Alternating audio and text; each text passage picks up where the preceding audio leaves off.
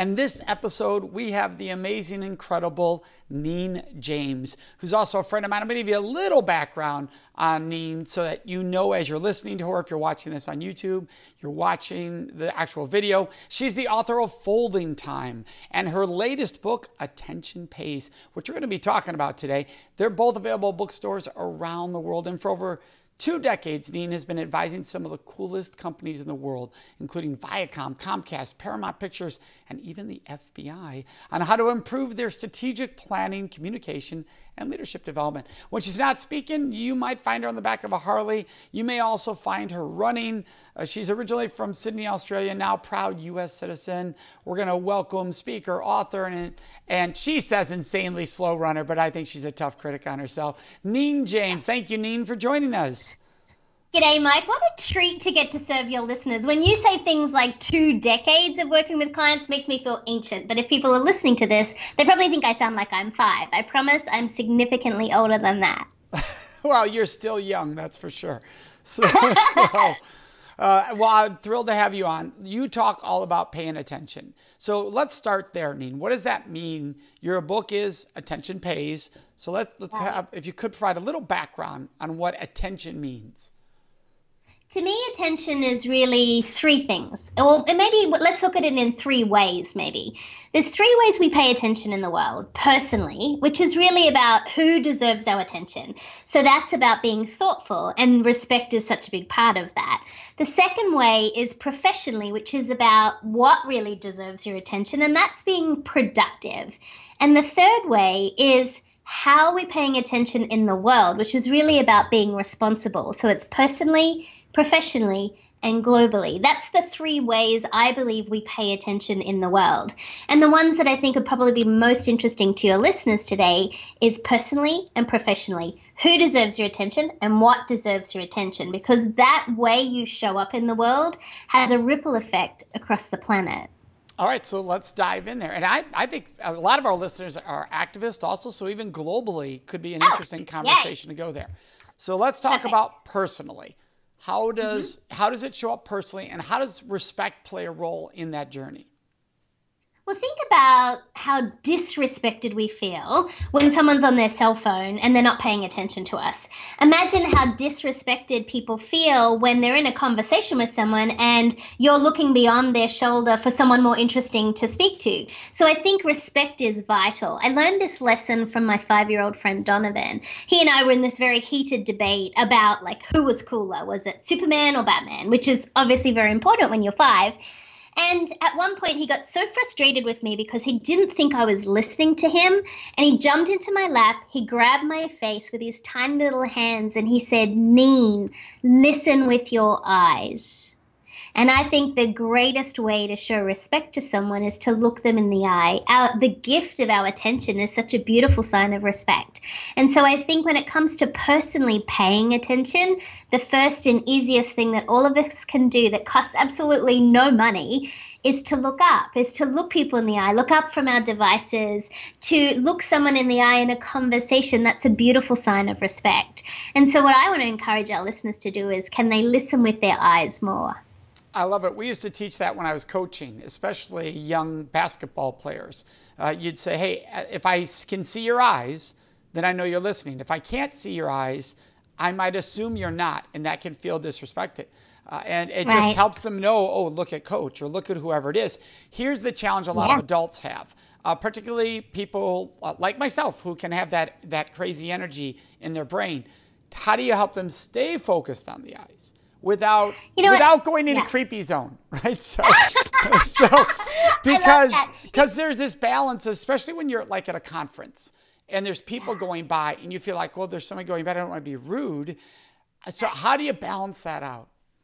You know, this is a skill I had to teach myself, Mike, because I love people. Like if I walk into a room, I assume everyone wants to play with me. And so there's already already so many people that I want to see. But what I've had to be able to do is to block out my field of vision, meaning if you and I are in a conversation, I have to stay really focused on you so I'm not looking at all those other people who you and I know.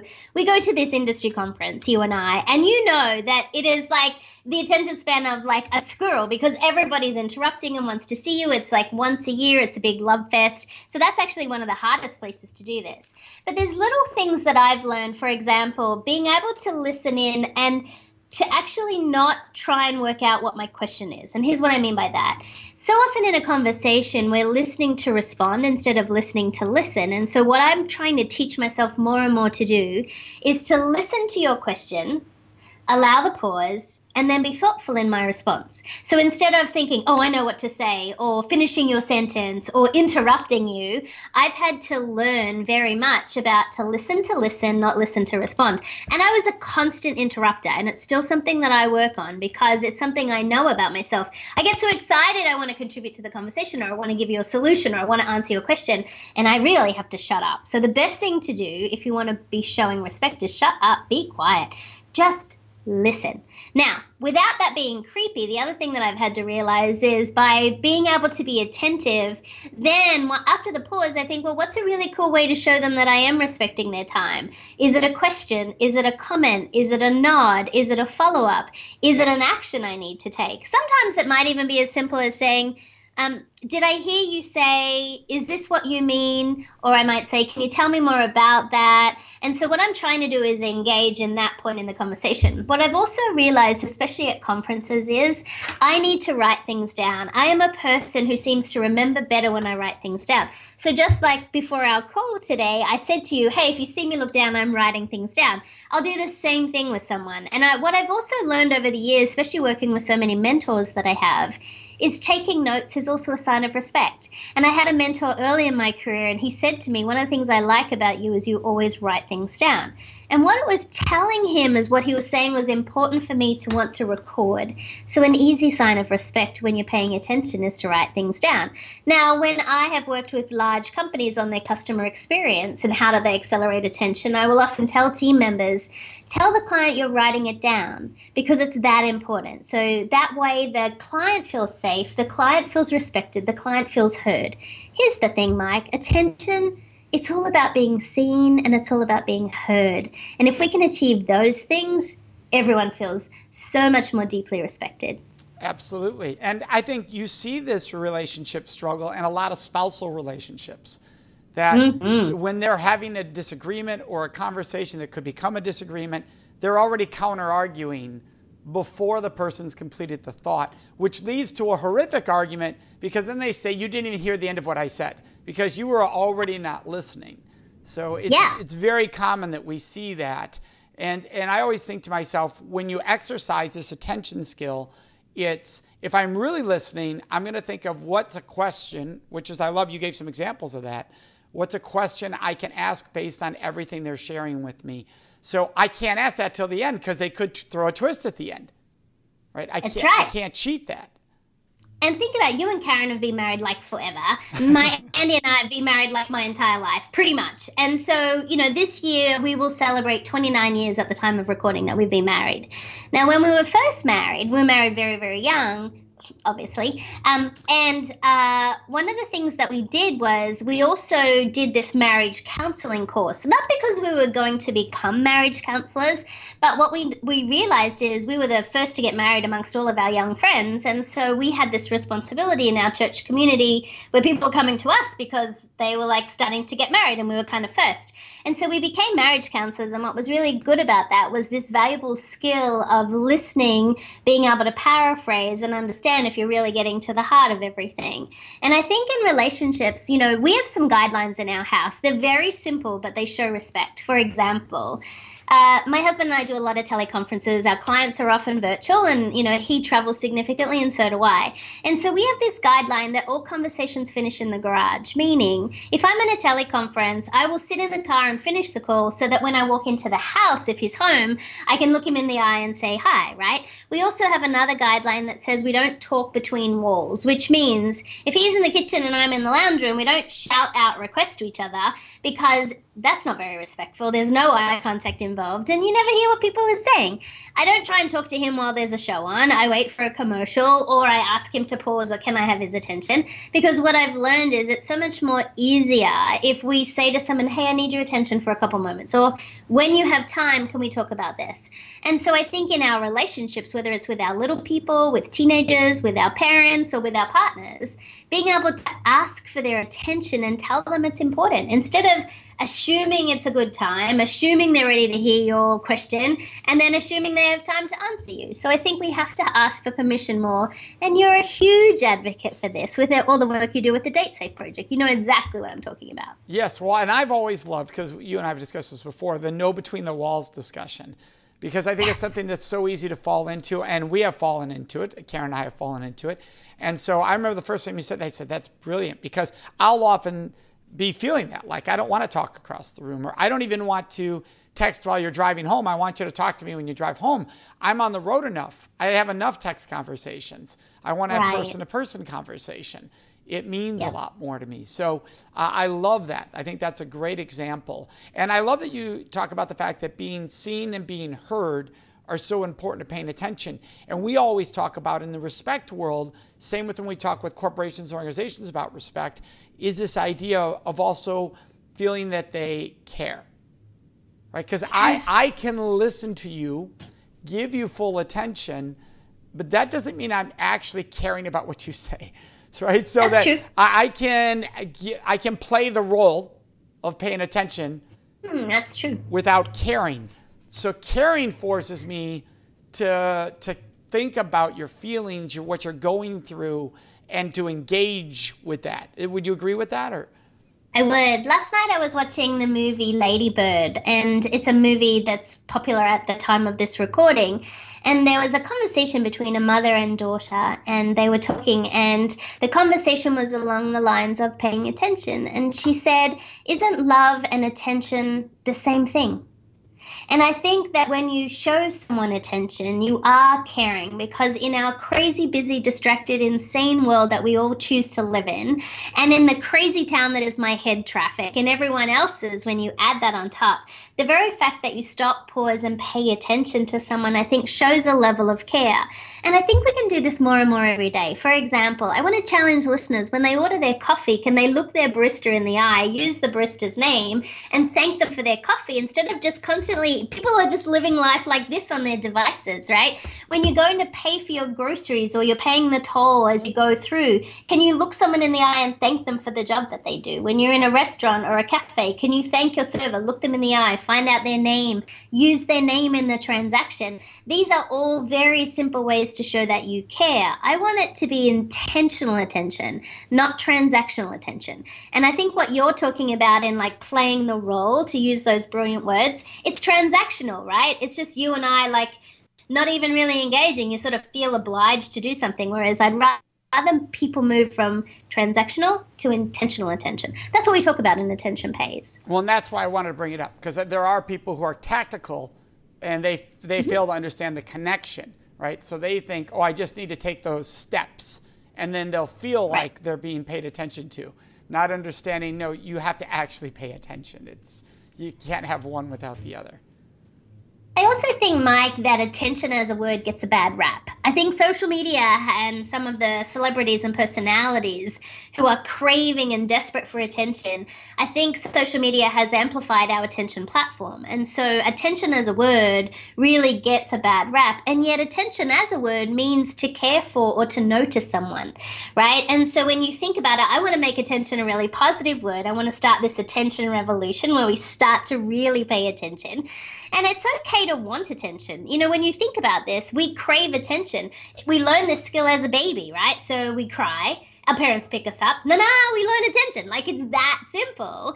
But I think over the years, attention gets a bad rap. And I want to really change that for people. It's okay to want attention you don't have to want attention from everyone, just the people who matter to you. And I think that's a really important thing too is if someone you really care about is not giving you the attention that you need, you have to have the courage to say this is really important to me. And I think that's also respecting yourself. It's respecting what your needs are and having the courage to articulate those to someone else. That takes all kinds of vulnerability. It takes all kinds of bravery, and I know you talk about that in the work that you do. So if someone's listening right now thinking, well, this sounds great. My partner needs to be better at this. My coworker yeah, needs to be yeah. better at this, right? It's always my boss or my partner right. or my kid. Never me. Right. right. It's right, like when you read a book. Oh, I know someone who could use this book. Well, yes, you probably, right? So we've all done it. But if somebody is thinking, okay, I'm aware that I need to be better at this, and I would like my partner to be better at this, or I'd like my coworker or my boss to be better at this, how do you help them ignite the conversation on the importance of attention without talking down, therefore losing attention, or lecturing, therefore losing attention? How do you best uh, case scenario for starting that conversation with someone important to you? what I found with working with so many of my clients, whether they're big uh, executives who run, you know, billion dollar companies or entrepreneurs who are a company of one. What we've realized in the work that I do with them is very much getting super clear on what it is that they might be missing and what it is they need, and having language that's not accusing the other person of not doing what they need, but it's coming from a place of saying, I really need this. So, if, for example, it was your partner, maybe one of the things to talk about would be say, Hey, when you have some time, I'd love to talk to you about something that's been on my mind. Just seed the conversation. Don't say we need to talk because no one wants to hear that. Okay, that's a, like a dangerous phrase. But it, when you you say well. And the other thing that is also important in a relationship is know when a good time is to talk. So my honey and I have certain things that we do which are really conducive to talking as opposed to other things, right? It could be that you're going on a long drive or a walk. So seed it first. And then say, hey, one of the things that I'd really like to talk to you about is how I've been feeling about this. I feel this. It's my feeling. I own it, right? So I feel like there's times where I want to have a conversation with you, but you're on your cell phone. It would really be important to me if we could stop and have like a device free meal. Or it would be really important to me if you could look up because there's certain things I need from you. Or it'd be really helpful to me if. And it's all about me, right? This is what I need. It's not about you doing something wrong. It's about me owning why I feel this way. And then coming to some kind of uh, resolution. I think what sometimes happens is things, let's take technology for example. Technology is not the enemy of our attention, we are, right? But we made technology to be the bad guy. Mm, not really. It's just we as adults are the users. So I remember once my husband and I were on this fabulous date and he was on his cell phone. And I was like, um, I'm much more interesting than your cell phone. Like, I was joking, but I wasn't.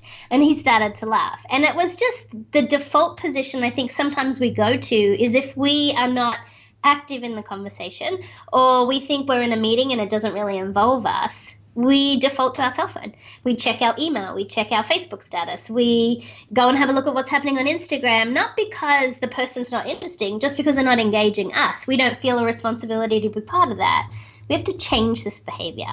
And so there's little things. I bought a cell phone with an actual cover, like you've got to actually open it up.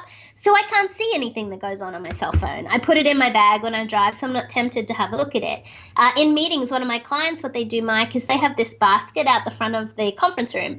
Everyone drops their cell phone in the basket on their way into the conference room so that they can truly engage and brainstorm for whatever meeting that's about.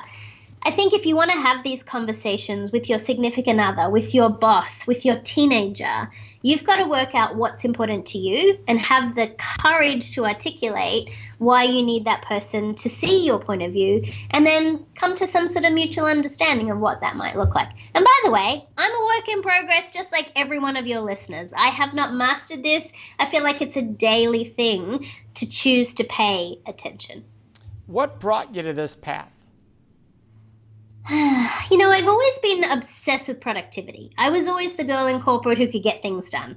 And I was always the person who was known to be able to look for very creative solutions to everything. My idea of productivity is off the roof. Like, it's just, it's crazy town, right?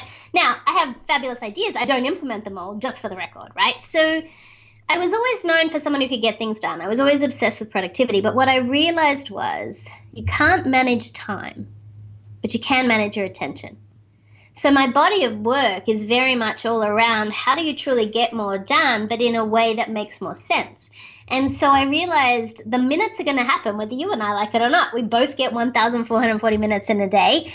But your attention, your attention is something you can control. So when I realized it wasn't uh, time I could manage, it was attention, that became the evolution of my work, where I was like, huh, as an adult, I can choose who I spend my time with, what I spend my time on, you know, how I spend my time, and then who deserves the attention I have, what deserves the attention that I have, and how am I going to show the world that that's important. And that was the evolution for me. And so it kind of just made sense that attention was the evolution of productivity. So I have friends who say, well, uh, you know, I, my priority is working out, but I can only get a workout in a week. And so that would be an example of not really being honest to what you pay attention to or what you're giving your attention to because you're right. saying one thing, but your time does not reflect that. I, I remember right. we have a mutual friend, Sean Stevens, that said, I can tell what your priorities are where you spend your time and your money, right? The combination mm-hmm. of those things. Yeah. So a lot of times we're lying to ourselves about what we want to pay attention to. What may not what we want to, but what we are paying attention to. So the re- the real statement should be, uh, I don't give enough attention to working out if I'm only mm-hmm. working out once a week. That's an honest statement. I don't give the attention right. to working out that I wish I was giving or that I would I need to choose to give. And, and so that's an important distinction for people. Do you think it's a common one people struggle with? Well, I, I care deeply about that's where all my attention is, but it's not. Yeah. It's over on these other distractions they have. Yeah, and I think to what you're talking about is very much about respecting yourself, right? So right. I think one of the things that happens is we articulate what we think people need or want to hear. So if you're with a friend who's like insanely healthy and you're like, yeah, yeah, yeah, I want to work out like every day, but oh, I only have time once a week because your friend's super healthy and you're inspired by them, well, that's not really respecting yourself. What I've also learned, especially as I've got significantly older, is that your body has to move. Like you have to put the right things in it. It has to have some sleep. Oh, by the way, you should exercise, right? Whether you like it or not is kind of irrelevant. To respect the body that you've been given for this one planet, God gave you one body. Like that's it, right? No amount of pills or anything is going to fix that. And so I think what we have to do is show respect to ourselves which also means being truthful with ourselves. It is about here is how many minutes I'm going to be awake today. A small portion of those can be allocated to working out. I would rather someone work out for 15 minutes, Mike, than zero minutes. And so I don't think it has to be like an hour workout. I think that's also the trap that people fall into. They say, oh, well, if I'm going to go for a run, I need to go run for five miles. Well, that's not necessarily the case. One mile is going to be better than no miles, right? right? And so one of the things to think about is instead of looking at what everyone else is doing and comparing yourself and looking at what they're doing, look at what you can manage.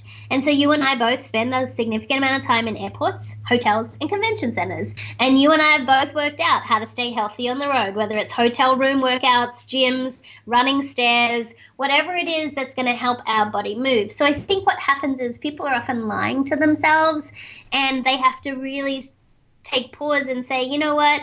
I have this one body on this one planet. It will only take me a few minutes just to pay attention to it, whether it's meditating, yoga, walking. You don't even need a lot of equipment. You can use your own body weight to do things. And so I would encourage listeners to find something that they actually like. I think that's the trick too, Mike. If you're doing a workout you don't like, you're not going to give it any attention because it's going to feel like hard work. But if you find an exercise that actually you look forward to, I think that makes a huge amount of difference because then you will invest your attention. I think attention is um, like Sean. I can look at someone's calendar and instantly know what's important to them because your time and the way you're investing it tells me a lot about who is important and what is important to you. If you or I have a sick loved one or one of your boys is not well, you'll drop everything in order to make them a priority because that's where your, your attention goes. And so the unfortunate thing is often people wait till they get sick or they lose someone they love before they pay attention to what really matters. I don't want that for your listeners. I want them to start paying attention now to who's important, what's important, and how are they going to show their attention in the world.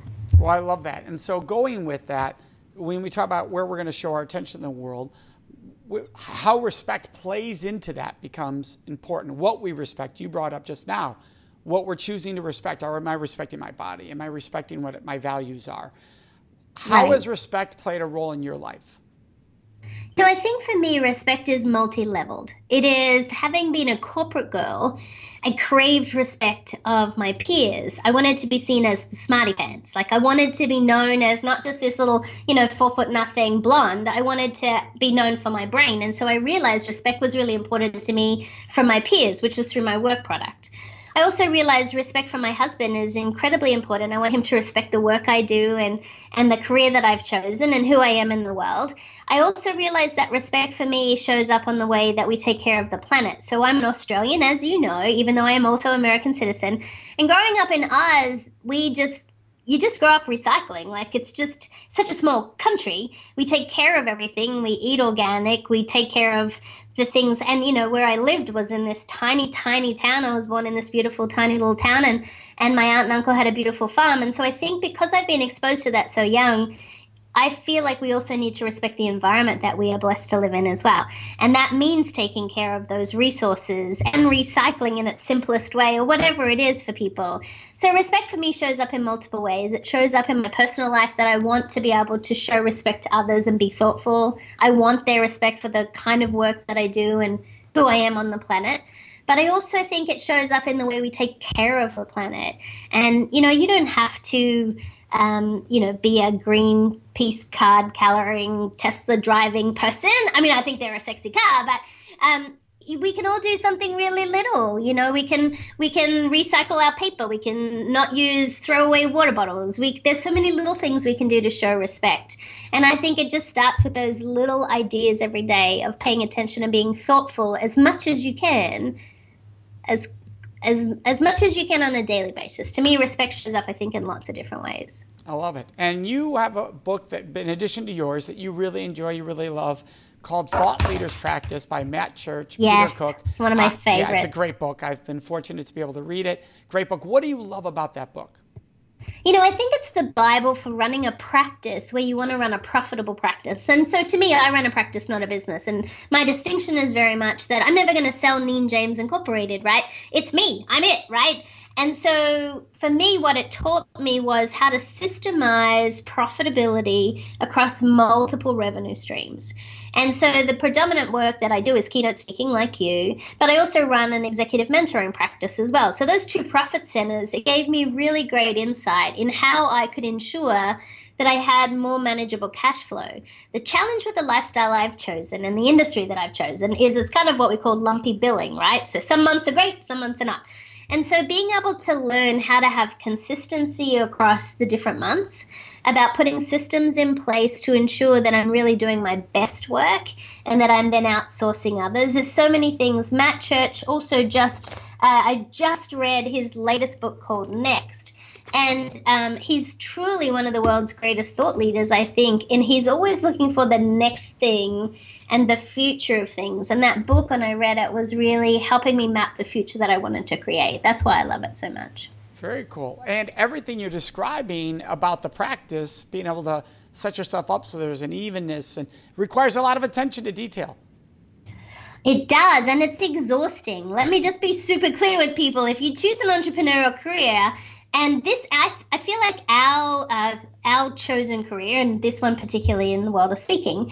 Uh, so I choose to stand on a stage for a living. It gets no more vulnerable than that. But it also, there is no greater sense of attention than standing on a stage. It's not actually about me, though. It's about how I stand in service of that audience. But my career is attention. My profession is attention. It's all about attention, but I think attention is about connection right?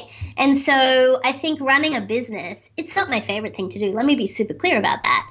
But it allows me to have the lifestyle that I love. And so, what I've also been very good at doing is putting people in around me who are brilliant at attention to detail, right? I told you earlier, my idea productivity is great. My execution is not as strong. And so, I have people in my life who help me get things done. And so, I've built my practice in a way that I can focus on the things I'm really, really good at speaking, writing and delivering the product that I do and everything else. We have people around us who can help us do that. Now, when I first started, Mike, I couldn't afford to do that. It was just me, right? So if you're listening to this and you're just starting on an entrepreneurial journey, believe me, it took a long time before I could pay other people to do things. So initially, I would barter. I would barter their brilliance for my time. So I'd say, hey, can you help me set up my QuickBooks? I'll come train your team on how to be more productive in your practice. And so I was constantly trading my time until I could afford to write checks for people to pay them for what it is that they do for me. And so I think you just need to get super creative on what you're going to invest your attention in in order to get the return that you want. I love it. Thank you so much, Neen, for joining us. What a treat. Thanks for having me on your show. I love what you're doing in the world. Well, I appreciate that. For everyone listening or watching, you can find Neen at neenjames.com. We'll also have all the links to her social media, her book, Attention Pays, everything on the show notes. Thanks again, Neen. Thanks.